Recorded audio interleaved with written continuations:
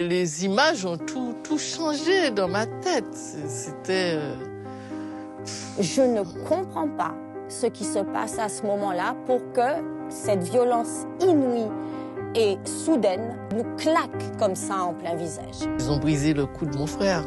Et puis ça a été l'effroi, quoi. T'as pas d'autre mot, c'était effroyable. C'est pas la procédure. Ce n'est pas cela l'ordre. C'est d'ailleurs tout le contraire de l'ordre, c'est du désordre. Euh, la panique, la perte de sang-froid, la perte de maîtrise.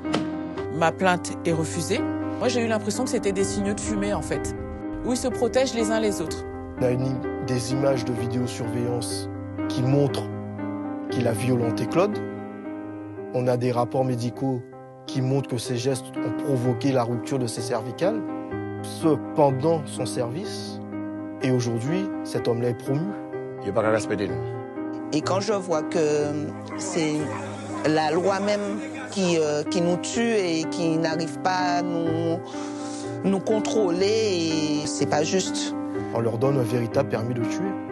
Et c'est juste affolant pour la République. En Guadeloupe, la justice est au service d'un pouvoir politique que nous ne maîtrisons pas. Ce message-là a déjà été donné à plusieurs reprises au peuple de la Guadeloupe.